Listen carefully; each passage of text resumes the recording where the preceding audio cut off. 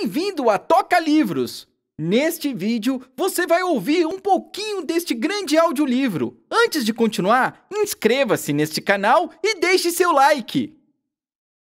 Toca Livros apresenta O Poeta e a Foca. Como uma jovem jornalista conseguiu a primeira entrevista de Drummond para a imprensa. Em 1977, Carlos Drummond de Andrade completava 75 anos sem nunca ter dado uma entrevista sequer. Fugia de jornalistas. Com toda a imprensa à sua procura, só uma jovem repórter foi recebida por ele em seu apartamento, aonde nem os amigos tinham acesso. Neste audiolivro, Nanete Neves nos conta como foi esse encontro que rendeu boas matérias e uma doce amizade. E também das entrevistas com intelectuais que lhe falaram do jeito de ser do poeta. Suas esquisitices, sua visão de mundo e idiosincrasias, preparando-a para o grande encontro. Antônio Hauás, Nelly da Pinhon, Afonso Romano de Santana, Ferreira Goulart, Antônio Calado, Pedro Nava, entre outros. Escrito por Nanete Neves e narrado por Zéza Mota.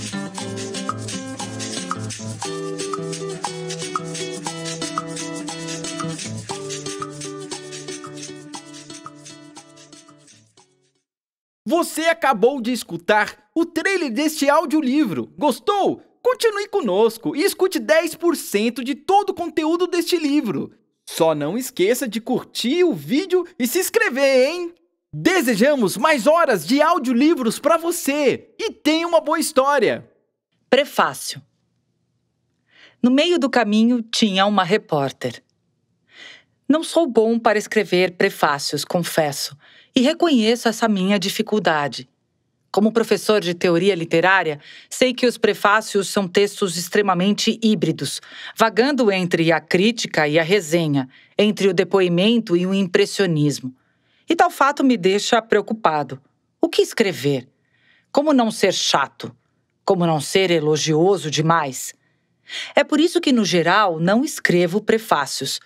Mas Eis que vem Nanete Neves com uma conversa doce e um pedido carinhoso, ou seja, não pude me negar a prefaciar O Poeta e a Foca, cujo título me atordoou desde o início, impelindo-me a tentar entender e descobrir o que o bicho estranho que se arrasta tinha para ser comparado e associado ao poeta de Tabira.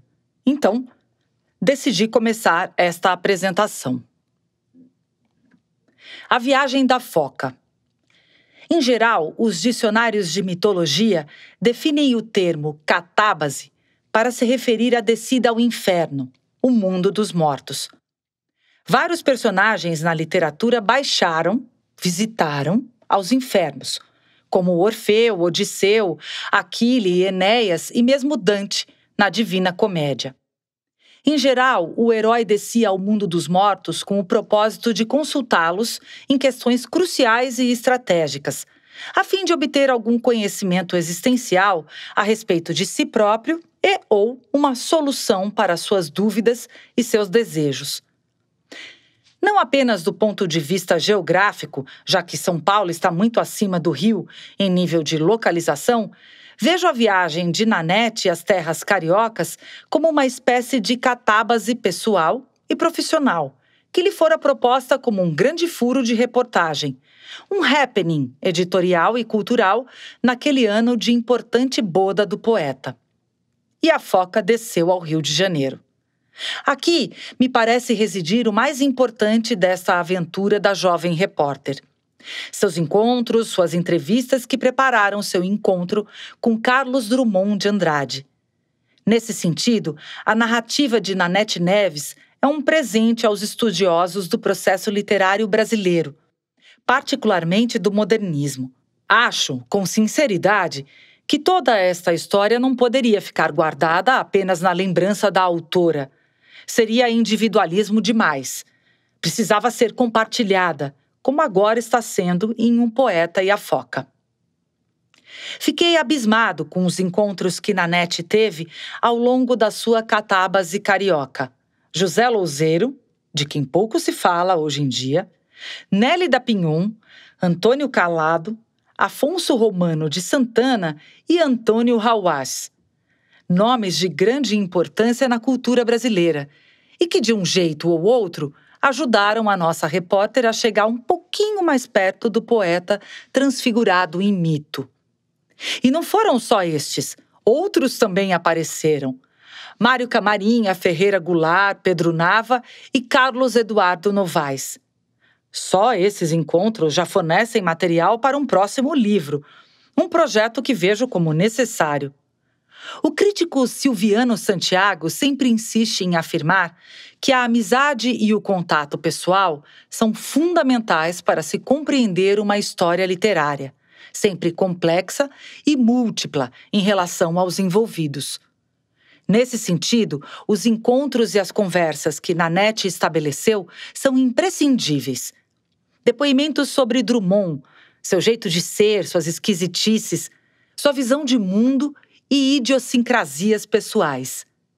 Isso é fundamental para compreendermos o intenso mosaico biográfico de Carlos Drummond de Andrade, sua atuação no MEC, junto a Gustavo Capanema, e depois no IFAM, seu namoro ideológico com o PCB, sua relação com a família e os amigos mais próximos. Tudo isso revelado de forma muito natural por aqueles que o conheceram e conviveram diretamente com ele.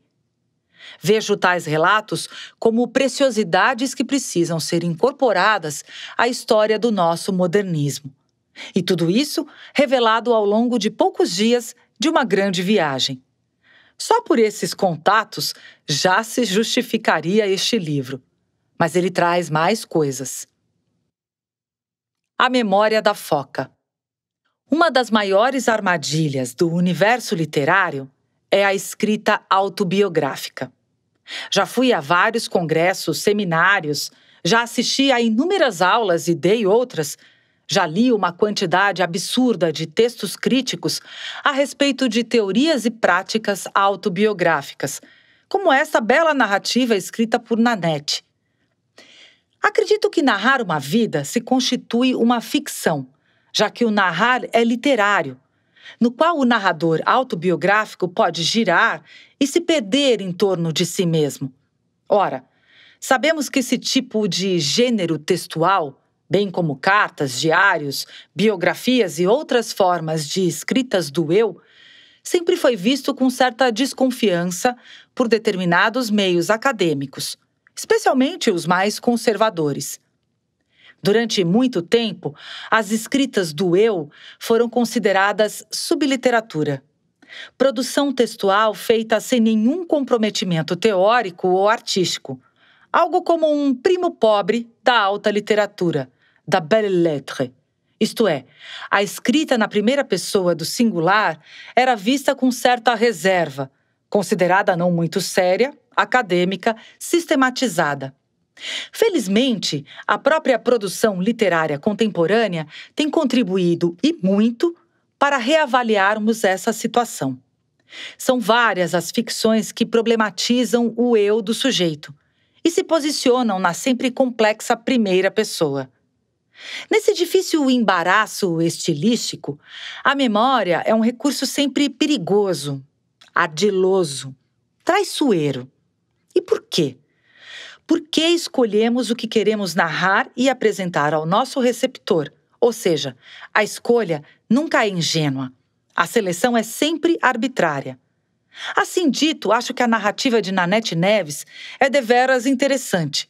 Flui muito bem, carregada de lembranças, muito bem contadas e organizada. Não nos esqueçamos de que ela é uma experiente jornalista.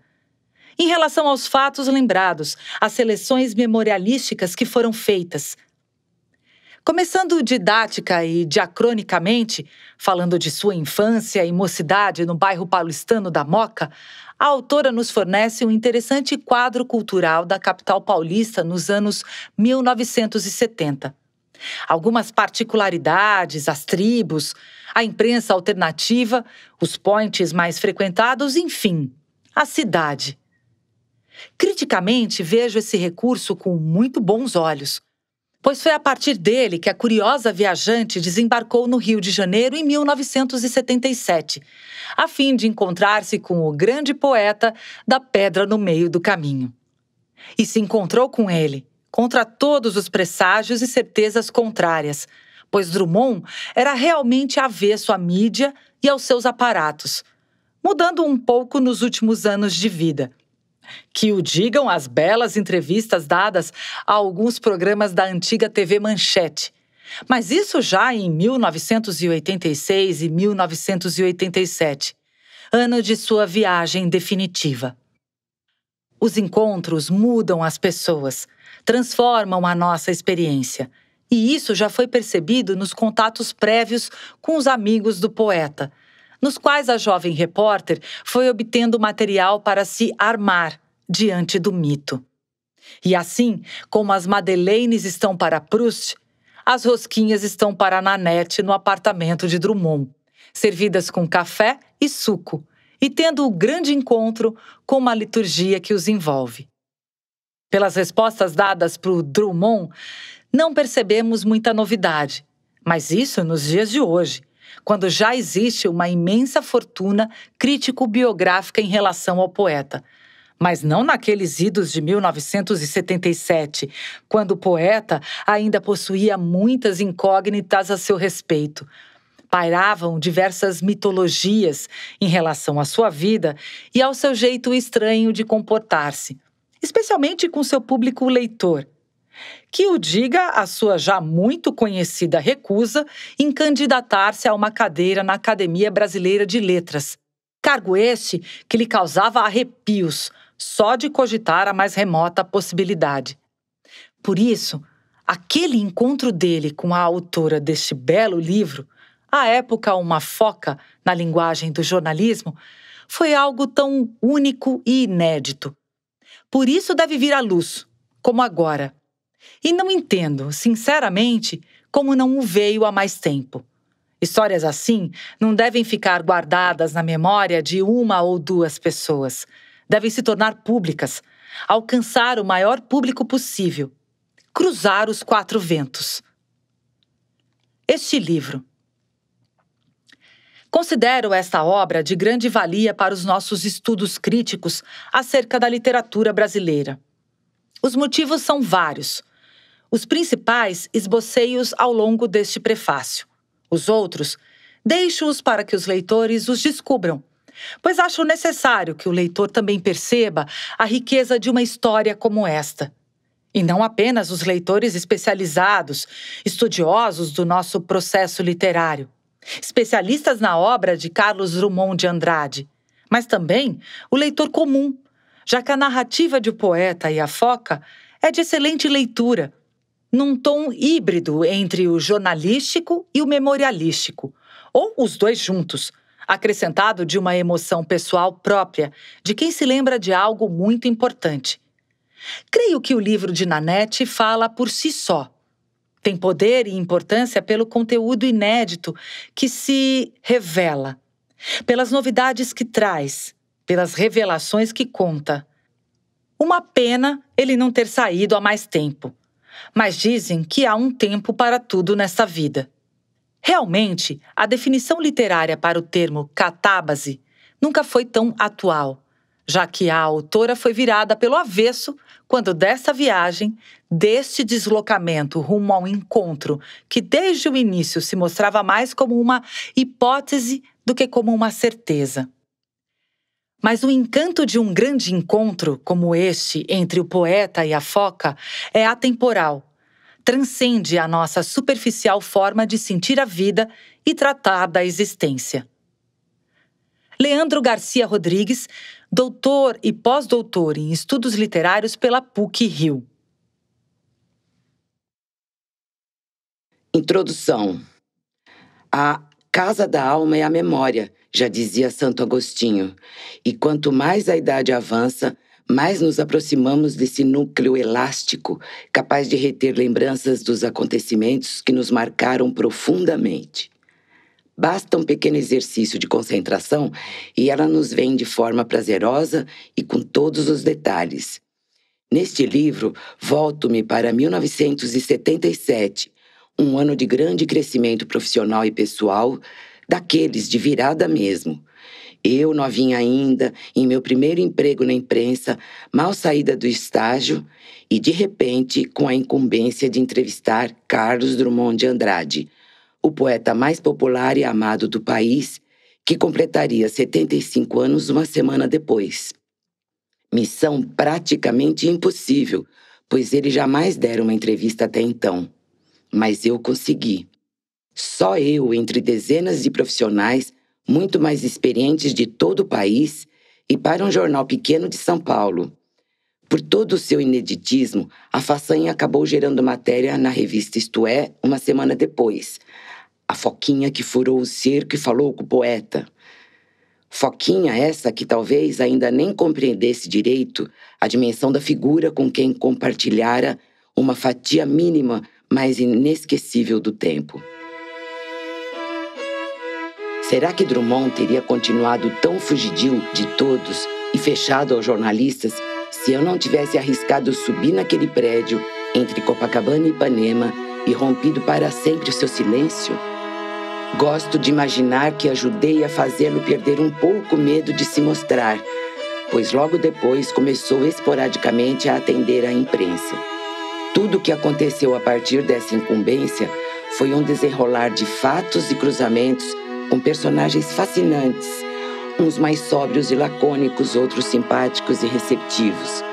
Estava inserida num período historicamente importante em meio aos grandes nomes da intelectualidade brasileira da época e num cenário belíssimo e até então desconhecido para mim, a cidade do Rio de Janeiro borbulhando em primavera.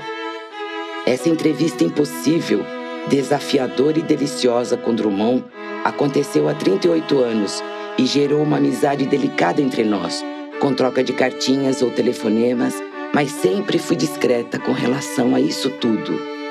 Era algo muito pessoal, coisa apenas da minha lembrança e meu interesse.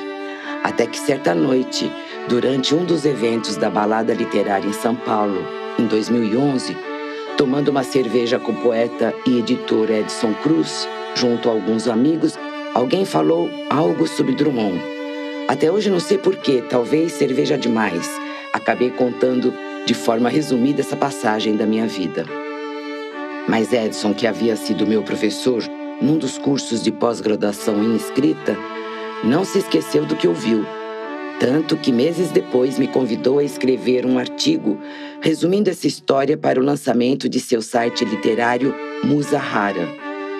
A matéria, publicada em 18 de janeiro de 2012, gerou tanta repercussão que ele disparou. Você sabe que tem um livro em mãos aí, né? Tomei aquilo como incentivo e uma provocação. Afinal, salvaguardando-se as devidas proporções, a minha história tinha todos os componentes da jornada do herói tão perseguida pelos escritores: o mito e o sonho, a chamada da aventura, a recusa do chamado, o auxílio do sobrenatural ou o acaso, a passagem pelo primeiro limiar, o caminho de provas, o retorno, etc.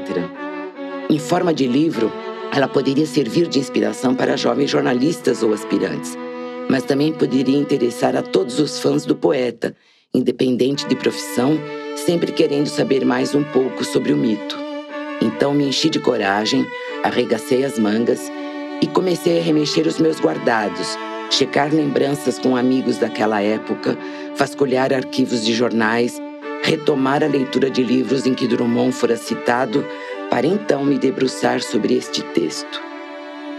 Essa tarefa demandou extrema concentração e mais, exigiu que eu falasse em primeira pessoa, coisa raramente permitida no jornalismo, que se atém aos fatos, aos números, à observação e à notícia Cabe ao repórter ficar por trás disso tudo.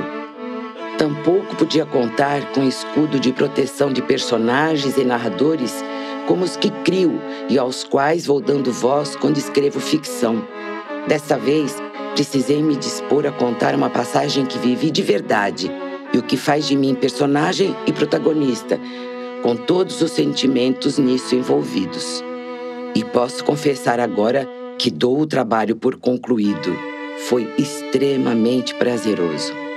O resultado está aqui: a história do encontro do poeta com a Foquinha, uma das mais belas pedras no meio do meu caminho. Espero que você, leitor, embarque comigo nesta viagem de resgate de uma fatia do tempo cuja memória tenho agora o imenso prazer de compartilhar.